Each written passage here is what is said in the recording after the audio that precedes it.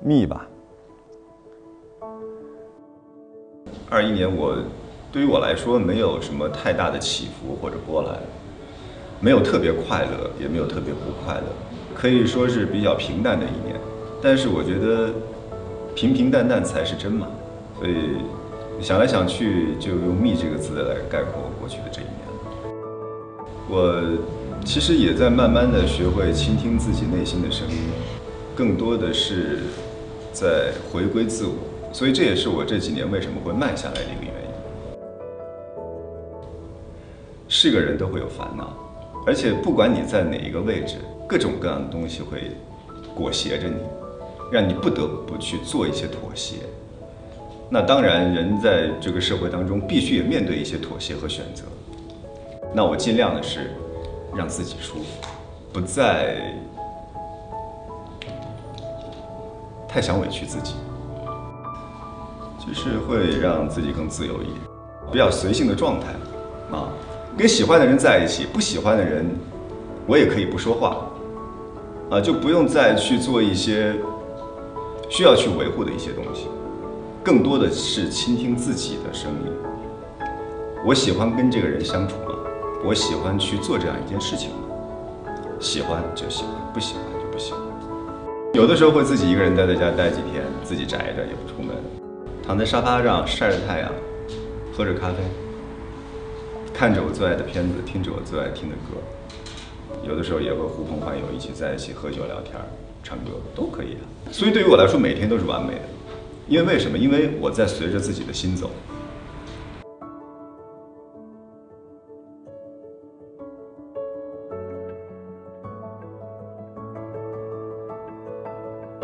一开始的时候，我特别头疼这件事情，但是这么多年我也和解了，就是也别跟自己拧巴了。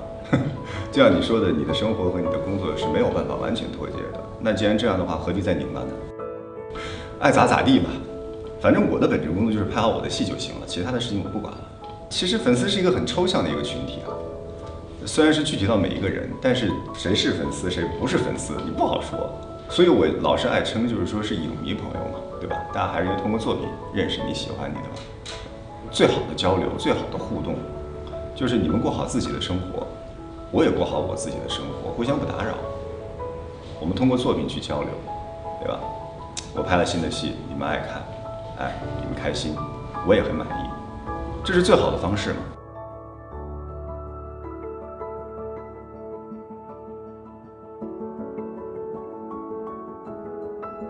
好人嘛。你首先是个好人，才能成为好演员。谁都爱听夸你的话，但说实话，有些夸你的话，你自己还是得自己心里有点数。有些夸是真诚的，有些夸未必。我觉得我优于别人地方是，我是我是一个有心人，我知道自己的短处在哪儿，我知道该怎么从别人身上去找他们的东西来弥补自己的短板。尤其是干咱们这一行，为什么说老天爷赏饭吃？真的不是给你这个外表，让你觉得你漂亮、你帅，是你对表演艺术的一种灵性和一种感悟，这是天赋。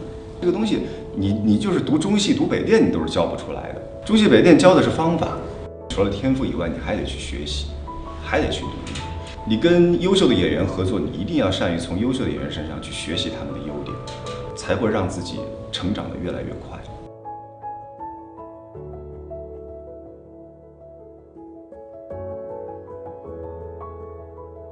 洗澡的时候，那下水道堵了，这头发堵了。今年再过几个月，我就四十了。其实很多的一些东西，我觉得都是在一些很很细微的，或者说是不太为外人所知的一些方面，我自己感受到我在改变。很多以前想的不太透彻的，看的不太明白的，或者说很多迷惑的地方，到了四十就不惑了。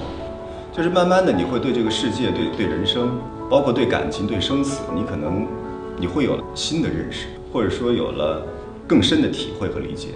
而且包括我的兴趣爱好都在改变。我三十岁以前，我从来不会去关心时政、关心社会事件，我觉得那些离我好遥远。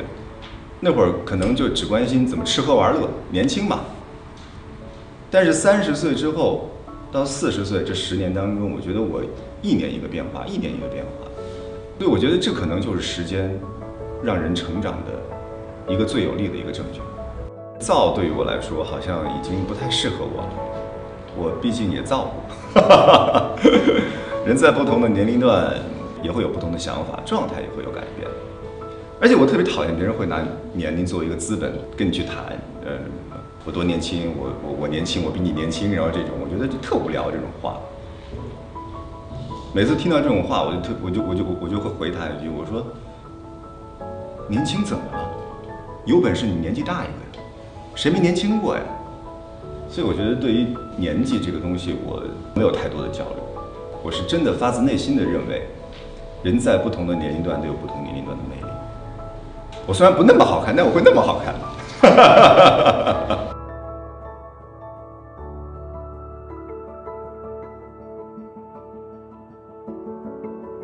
这两年疫情的原因，也让我对人生有了一些思考。其实人真的很无常，虽然是一句鸡汤的话，但是我觉得真的很受用。每天把自己当成生命中的最后一天去过吧，尽量不让自己留遗憾。二零二二年，希望。洗澡的时候，下水道不要再堵。